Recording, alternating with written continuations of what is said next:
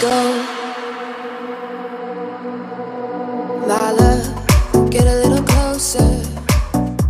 This one.